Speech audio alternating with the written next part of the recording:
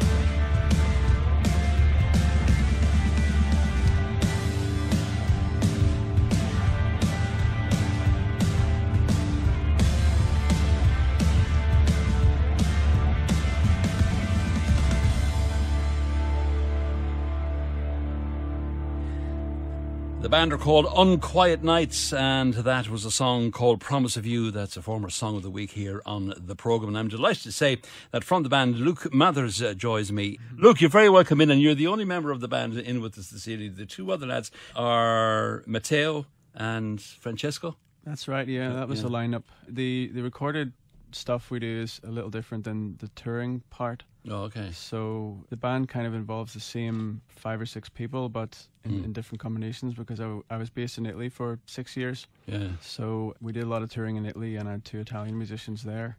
But then the first album I had recorded in Belfast, so there was a lineup of musicians at that time that I've started working with again since I came back here. So it's a tangled mess, but Yeah, but one that you're very well aware Yeah, of yeah. anyway. You're, you're able to handle it. Let me just read what you write, write on your, your own biographies. You're a band from Northern Ireland, uh, formed in Belfast, relocated to Europe, picked up much radio worldwide, supported millions of million selling artists, recorded with Rock and Roll Hall of Famers, appeared on national television, released a couple of albums, and toured in nine countries.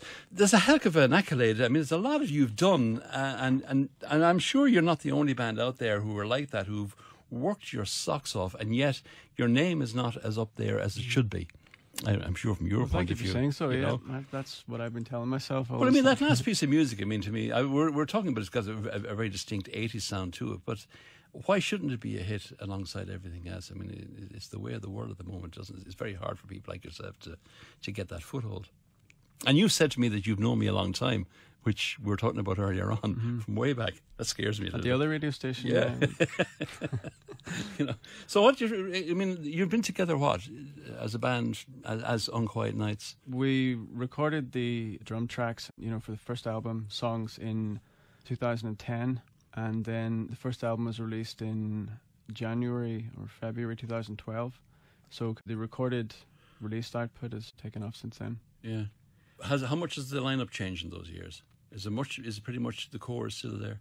It was more or less the first album was uh, me and a guy called Roger who was on drums, and um, I moved to Italy and he didn't. so we still met up and toured, and we, we played London and Amsterdam and a few places while not living in the same location to be able to rehearse. Mm. And then I started touring with two Italian musicians in the in the lineup. My guest in studio, my guest in studio is Luke from the band Unquiet Nights. Roddie Cleere's Irish Music Show. 34 years supporting Irish acts. Yeah, welcome back. Uh, don't forget later on our featured album comes from uh, an expat by the name of Gally, uh, Gallagher. It's where the, nickname comes from. The Occoquan River is the name of the album. Three from that coming up later on. My guests in studio are Unquiet Nights, or at least uh, Luke Mathers. Luke, are you the are you the the main unquiet nighter, as it were? I mean, it's, it was your uh, concept in the first it's place. always been my thing. Yeah, I'm the only constant member of the band. It's a vehicle for my songwriting. So, So you, are you the main songwriter then? well, it's the only songwriter. It's my stuff. Yeah, you know, so- yeah. Uh, what I meant by that is, did the guys have any any input on, on that at all? Or musically, I presume. Melody lines, yeah. The songs mainly come fully formed because Mm. I'm obsessive like that, so I kind of bring the full product. Oh, what took you to Italy? My partner's Italian, so I decided I'm up for trying new things. So Yeah. we did six years over there, and I was keeping the band going throughout that time. So it made it a more interesting journey, anyway. Must have been quite difficult. I suppose it was, but it, the whole music thing isn't easy to begin with. So True enough. in some ways, it widened the base from which we would get more opportunities. So we did a lot of things that we wouldn't have got the chance to do if I was only based here. Mm.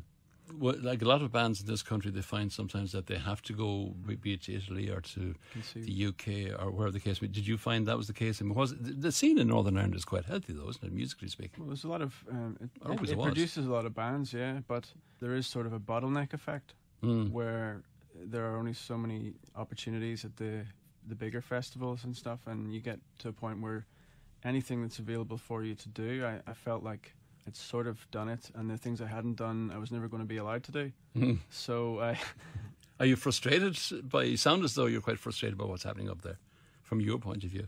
I don't know if it's up there or down here or in general, but I think that there was a different attitude whenever in Italy and Germany and different places that it's hard to be a prophet in your own country kind of thing. So we, we got off we got treated differently and spoken to differently and offered things that we wouldn't have been offered.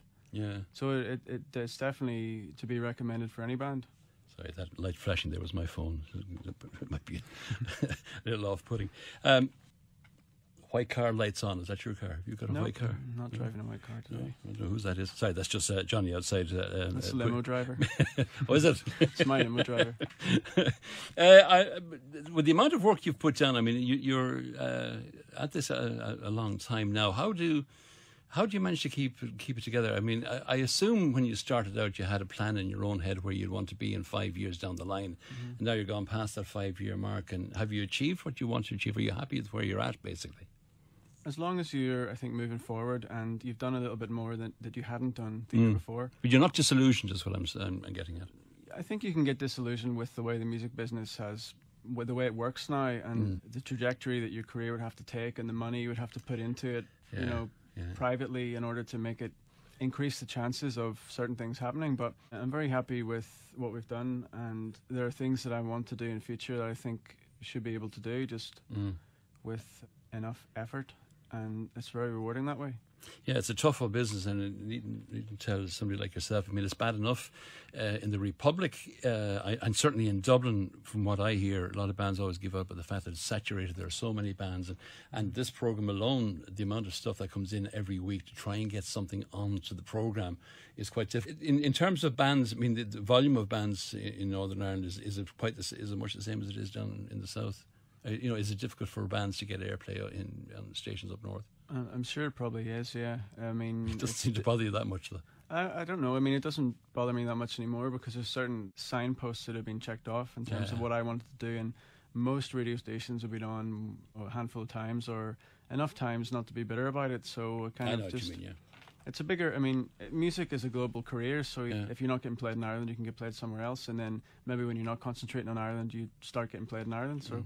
Is Europe? I mean, you spent quite a bit of time in Italy. You were saying there. Is, was that a big? Was that quite a different experience for you in terms of promoting the band, or, or, or you know, getting on festivals, or getting onto radio, or whatever the case may Totally, yeah. I mean, we've had every version of, of our biographies and stuff have been translated into German, French, Spanish. Italian. Yeah. You know, and at any one time you're trying to promote a single, you maybe set different release dates and have a different biography in a different language. And then maybe sometimes you have to do an interview where the basis of you doing the interview is that you have to kind of pretend that you know a little bit of that language, and then Sure. you end up you have to wing it. And I would imagine as well that the attitude towards the kind of music you make would differ from country to country as well, depending on where. I know that up, up in the Scandinavian countries, they, they love their rock up there. Yeah. Whereas maybe further south, down, down into Germany, down to France, even Spain, that the attitude towards music changes. Have you found that? The attitude does change, but especially if you're a type of band that has a versatile sound. Um, if you're a death metal band, you're only going to sound a certain way, and then you're in line to be booked in those kind of festivals. Yeah.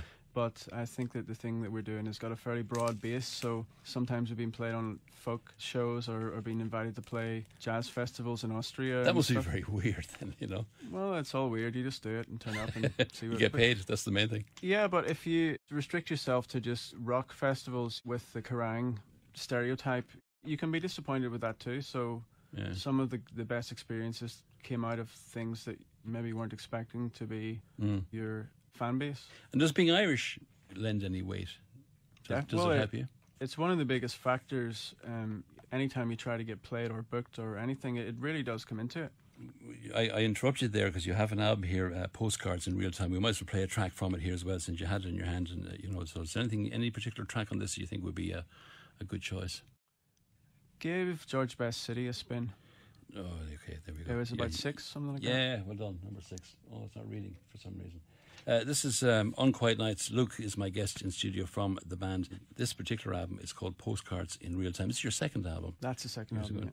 Okay, this is George Best City from Unquiet Nights.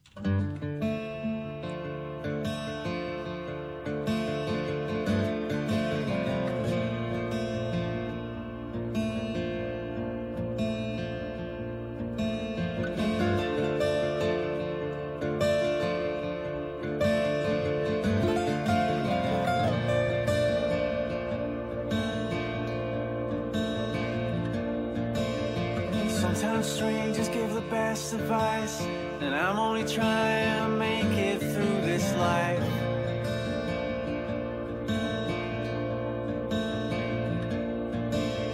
Every time I needed money to run, I always did what needed to be done.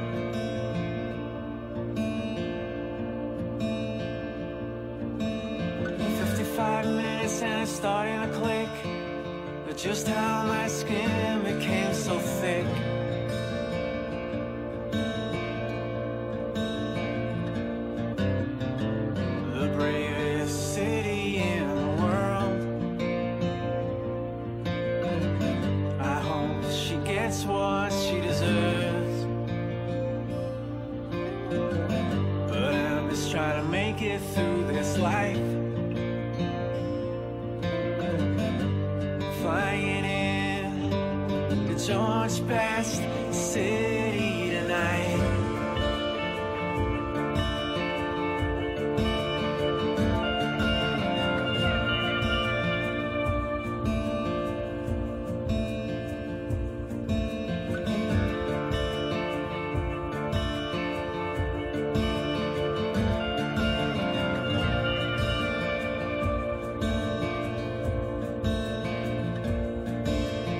Sometimes a place can seem a little too small, and you can read the writing on the wall.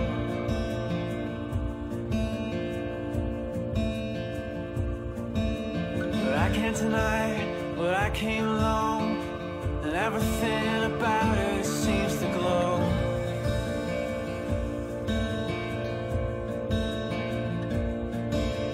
Crossing the east bridge, I was caught in the breeze. Leaves were brown falling from the trees.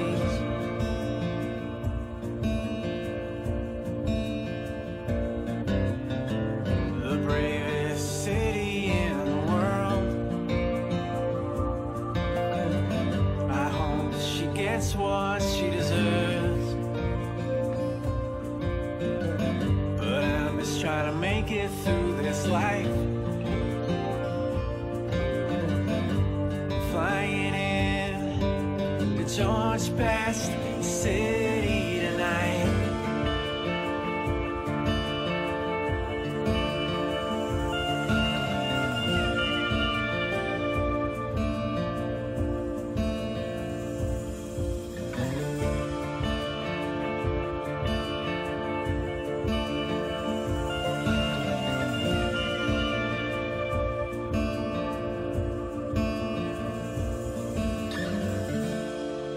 Unquiet Nights, and that's a track taken from an album called Postcards in Real Time, and that's called George Best City. Uh, yeah, one of the big sons, the great sons of, of uh, Northern Ireland.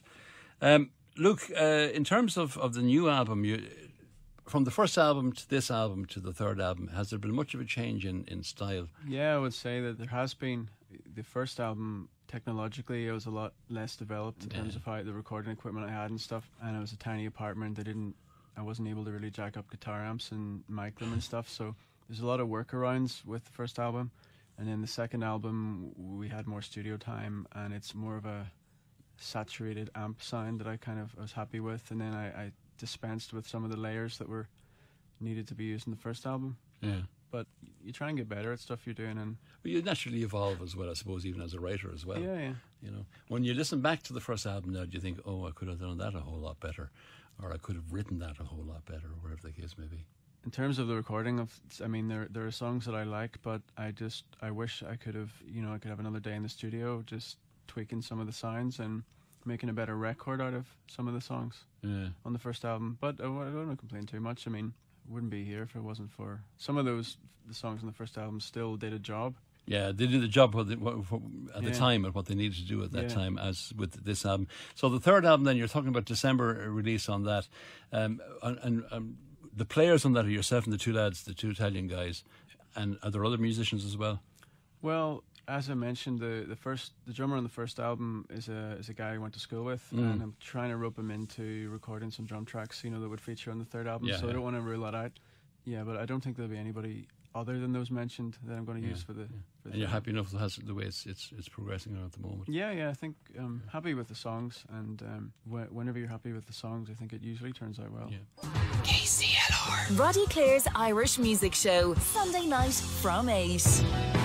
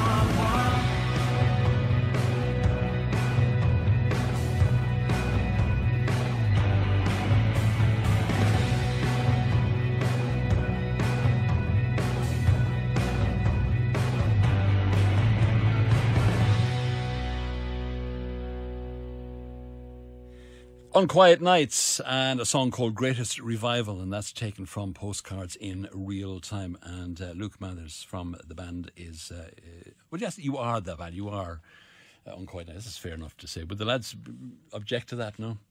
Probably not. I mean, I just refer to it as my thing. I mean, I sort of had the first album together before really talking about touring, and then it was more a case of being offered this thing.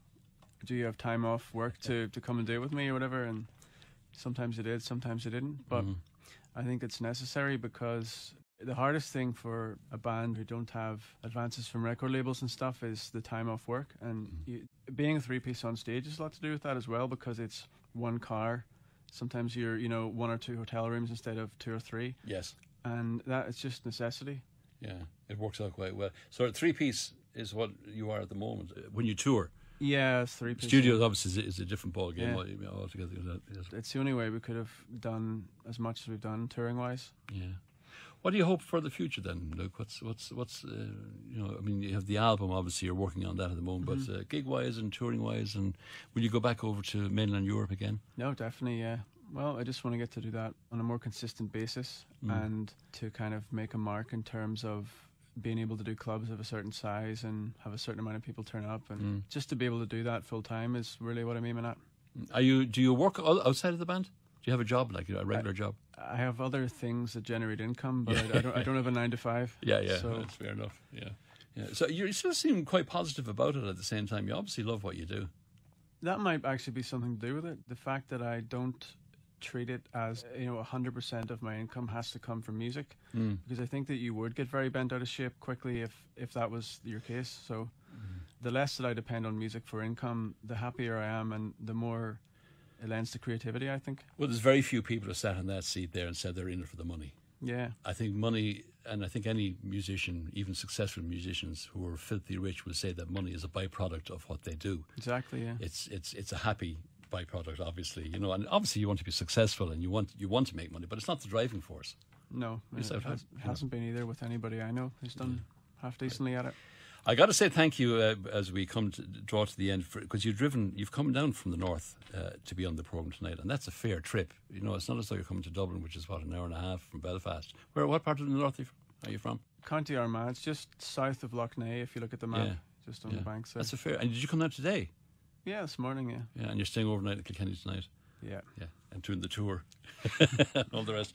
Look, it's been a great pleasure to have you in. And the, the next piece we're going to play is not from the album. This is, uh, we played it on the program last week. Actually, I unintentionally played it on the program last week. I had intended keeping it for tonight because this is the new single, and it's just, well, last week would have been its first ever airplay, I believe. You know, so this is a second that we know of. you know, tell me about this one, Young Believers. So, Young Believers is uh, a single. I just wanted to put something out to bridge the gap from the second album because I thought it had been a bit long since anybody heard from us. So, it was kind of a lead in. It was a song that we played live a bit in Europe, and it's the kind of thing we did live, more representative of the live gigs. So, Mm. I liked it for that reason, and it's out as a single. What was the name of the band that you said you were with when we met before? Love Child, but that Yeah. was 2002 ish, that 2004, yeah. Isn't it a funny business all the same? And, uh, you know, and, and I hope you forgive me for saying, but I don't remember. I remember the band, but I can't remember yourself. But there you go. I completely understand. a lot of people go through, I suppose, uh, through a program. Look, it's been a great pleasure to talk to you, and her ladyship in the corner, they're taking the photographs as we go along. Very quiet though. You notice she won't say a word, and she's the reason that that you went out to Italy. Exactly, yeah. She's quiet because the on air light is on at the minute. But Can't shut her up on us all. Luke, listen, thanks a million for uh, for popping in. The best of luck uh, with the new album when it does come out, and I look forward to hearing it as well. And the best of luck with this single as well. Thanks very much. Thanks for playing it. You're welcome. This is Unquiet Nights and a song called Young Believers.